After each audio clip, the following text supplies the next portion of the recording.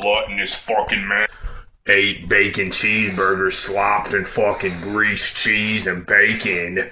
And six fucking corn dogs, all drenched in fucking mayonnaise, and smashing it with some beer. Oh, yeah. Oh. Oh. Time to drench these babies with fucking loads of mayonnaise. Ha ha ha ha ha. Oh. Number one. Oh.